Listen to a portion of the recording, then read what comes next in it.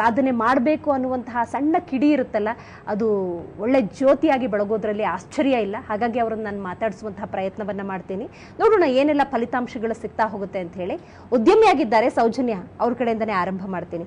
ಇವತ್ತು ಮಹಿಳಾ ಉದ್ಯಮಿ ಅಂತ ಕರೆಸ್ಕೊಂಡಿದ್ದೀರಿ ಸೌಜನ್ಯ, ಬಟ್ ಅದು ಸುಲಭ ಏನಲ್ಲ ಅಂತ ನಾನು ಅರ್ಥ ಮಾಡ್ಕೊಳ್ಬಲ್ಲೆ ಆರಂಭದಿಂದ ನಾವು ನೋಡೋಣ. ಮೊದಲು ನಿಮ್ಮ ವಿಚಾರವನ್ನೇ ನೀವು ಹೇಳೋದಾದ್ರೆ, ಇವತ್ತು ಮಹಿಳಾ ಉದ್ಯಮಿ ಅಂತ ಕರೆಸ್ಕೊಳ್ಬೇಕಾದ್ರೆ ಯಾವೆಲ್ಲ ಸವಾಲುಗಳಿತ್ತು ಸಪೋರ್ಟ್ ಯಾವ ರೀತಿ ಇತ್ತು ನಿಮ್ಮ ಆಂಬಿಷನ್ ಯಾವ ರೀತಿ ಕ್ಲಿಯರ್ ಆಗಿತ್ತು? ಸಿ ಫಸ್ಟ್ ಆಫ್ ಆಲ್ ಯಾವುದು ಯಾವುದೇ ಹೆಣ್ಣು ಯಾವ ಯಾವತ್ತೇ ಆಗಲಿ ಅವಳೊಂದು ಛಲ ಬಿಡಲ್ಲ. ಆ ಛಲ ಬರಬೇಕಾದ್ರೆ ಯಾವುದೋ ಒಂದು ಘಟನೆ ಆಗಿರುತ್ತೆ. ಈಗ ನಾನು ಈ ಸ್ಥಾನಕ್ಕೆ ಬರಬೇಕಾದ್ರೆ ನಂದೊಂದು ಮ್ಯಾರೇಜ್ ಬ್ರೇಕ್ ಆಯಿತು. ನನ್ನ ಡಿವೋರ್ಸ್ ನನ್ನ ಈ ಸಾಧನೆಗೆ ಕಾರಣ ಆಯಿತು. Because I tell that was a best phase of my life ಅಂತ. ಅದನ್ನು ನಾನು ತುಂಬ ಚಾಲೆಂಜಿಂಗ್ ಆಗಿ ತಗೊಂಡೆ. ಸೊ ಅದನ್ನು ಒಂದು ನನ್ನ ಇದನ್ನು ಬಿಟ್ಟರೆ ಯಾವುದೇ ಒಂದು ಹೆಣ್ಣು ಒಂದು ಸಕ್ಸಸ್ ಅಂತ ಫೇಸ್ ಮಾಡಬೇಕಾದ್ರೆ ಯಾವ ಚಾಲೆಂಜಸ್ ಅನ್ನು ಫೇಸ್ ಮಾಡ್ತಾಳೆ? ಈಗ ಮನು ಒಂದು ಅವನ ಎನ್ಸೈಕ್ಲೋಪೀಡಿಯಾದಲ್ಲಿ ಹೇಳ್ತಾನೆ. ಸ್ತ್ರೀ ಸ್ವತಂತ್ರಂ ನ ಅರ್ಹತಿ ಅಂತ. ಯಾಕೆ ಅಂತಂದ್ರೆ ಬಾಲ್ಯದಲ್ಲಿ ತಂದೆ ಆಶ್ರಯದಲ್ಲಿ ಒಂದು ಹೆಣ್ಣು ಬೆಳಿತಾಳೆ.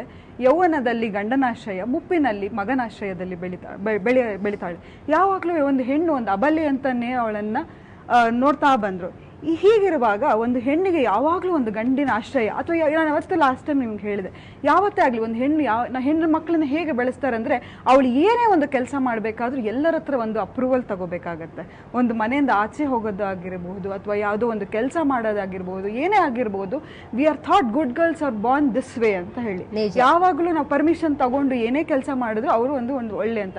ಹೀಗಾಗಿ ಹೆಣ್ಣು ಬೇಗ ಸ್ವತಂತ್ರವನ್ನ ಯಾವತ್ತು ಸ್ವತಂತ್ರ ಅವಳ ಸ್ವತಂತ್ರಕ್ಕೂ ಬೇರೆಯವರ ಪರ್ಮಿಷನ್ನೇ ತಗೋಬೇಕಾಗತ್ತೆ. ಹಾಗಾಗಿ ಮತ್ತೇನೊಂದು ಹೆಣ್ಣು ಹೆಣ್ಣಕ್ಕೆ ಹೆಣ್ಣಿಗೆ ಏನೇನು ಚಾಲೆಂಜಸ್ ಫೇಸ್ ಮಾಡ್ತಾಳೆ ಅಂತಂದ್ರೆ ಅವಳು ಮದ್ವೆ ಆದ್ರೂ ಕೂಡ ತನ್ನ ಕೆಲಸವೆಲ್ಲ ಬಿಟ್ಟು ಇವಾಗ ಗಂಡ ಎಲ್ಲಿರ್ತಾನೋ ಅಲ್ಲಿಗೆ ಹೋಗ್ಬೇಕಾಗತ್ತೆ. ಅವಳ ಕೆಲಸವನ್ನ ಶಿಫ್ಟ್ ಮಾಡ್ಬೇಕಾಗತ್ತೆ ಅವಳ ಜಾಬ್ ಚೇಂಜ್ ಮಾಡ್ಬೇಕಾಗತ್ತೆ. ಆ ಗಂಡನ ಮನೆಗೆ ಹತ್ರ ಎಲ್ಲಿರತ್ತೋ ಅಲ್ಲಿ ನೋಡ್ಬೇಕಾಗತ್ತೆ. ಮತ್ತಿನ್ನೊಂದು ಒಂದು ಮಗುನ್ ಹೆತ್ತಾಗ ಒಂದು ಟ್ವೆಂಟಿ ಇಯರ್ಸ್ ಪ್ರಾಜೆಕ್ಟ್ ಆಗುತ್ತೆ. Zero to seven years of a child is a sponge age ಆ ಮಗುಗೆ ಆ ತಾಯಿ ಲಾಲನೆ ಪಾಲನೆ ಬೇಕಾಗತ್ತೆ. ಸೊ ಹಾಗಾಗಿ ಅವಳ ಕೆರಿಯರ್ ಕರ್ಬ್ ಆಗ್ತಾ ಹೋಗ್ತಾ ಇದೆ ಅವಳು ಹ್ಯಾಂಪರ್ ಆಗ್ತಾ ಇದೆ ಅವಳ ಗ್ರೋತ್ ಸೊ ಇದೆಲ್ಲ ಆಸ್ಪೆಕ್ಟ್ಸ್ ವಿಮೆನ್ನಲ್ಲಿ ಅದು ಅದಕ್ಕೆ ಹೇಳೋದು ಹೆಣ್ಣು ಒಂದು ಕರುಣಾಮಯಿ ಅಂತ ಹೇಳಿ. ಅವಳು ಎಲ್ಲ ರೋಲಲ್ಲೂ ತುಂಬ ತುಂಬಾ ಒಂದು ಫ್ಯಾಮಿಲಿಯಲ್ಲಿ ಒಂದು ವೈಟಲ್ ರೋಲ್ ಪ್ಲೇ ಮಾಡ್ತಾಳೆ. ಮತ್ತು ಇನ್ನೊಂದು ಯಾಕೆ ನಮ್ಮ ಸಮಾಜದಲ್ಲಿ ಹೆಣ್ಣಿಗೂ ಗಂಡಿಗೂ ವ್ಯತ್ಯಾಸ ಇದೆ ಅಂತಂದರೆ ಹಿಂದಿನ ಕಾಲದಿಂದ ಅಷ್ಟೇ.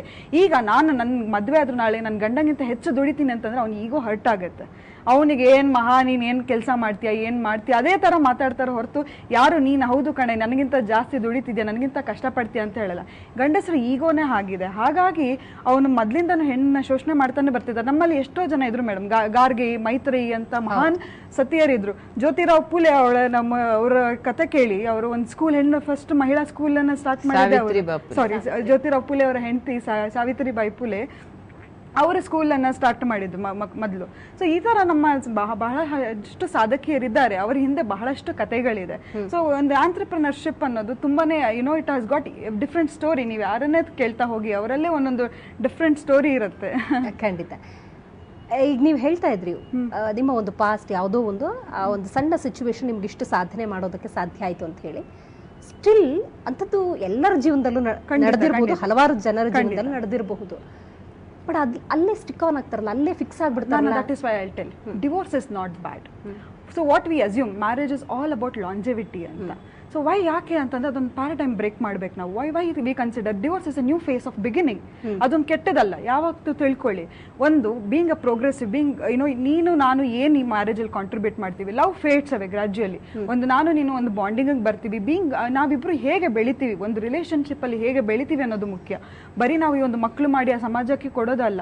So even when we are bringing of children upbringing of a child plays a vital role pay both parenting so ನಾನು ನನ್ನ ಮಗುಗೆ ಯಾವ ಥರ ಪೇರೆಂಟಿಂಗಲ್ಲಿ ಒಂದು ಎಕ್ಸಾಂಪಲ್ ಸೆಟ್ ಮಾಡ್ತೀನಿ ಅಂದ್ರೆ ನಾಳೆ ನನ್ನ ಗಂಡ ಆದವನು ಅದೇ ಈಕ್ವಲ್ ಪಾರ್ಟ್ ಅನ್ನ ತಗೋತಾನೆ. ಅವನು ಅದೇ ನನ್ನ ಮಗುಗೊಂದು ಎಕ್ಸಾಂಪಲ್ ಯಾಕೆ ನಾನು ಹೇಳಿದೆ zero to seven years of age child is sponge age ಅಂತ.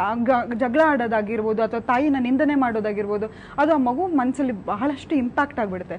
So divorce is not bad divorce is a new beginning of phase if it there is no growth in the relationship you it is emotionally driving you definitely you should walk out of the relationship there is nothing wrong in that because ಅದನ್ನ ನಾವು ಎಲ್ಲ ಅಷ್ಟು ಶೋಷಣೆ ತಗೊಂಡು ಅಷ್ಟು ಮಾನಸಿಕವಾಗಿ ಕುಗ್ಗೋಕ್ಕಿಂತ ಒಂದು new beginning ಅನ್ನ ಶುರು ಮಾಡೋಣ. ಅದ್ರಲ್ಲಿ ಯಾವುದೂ ತಪ್ಪಿಲ್ಲ.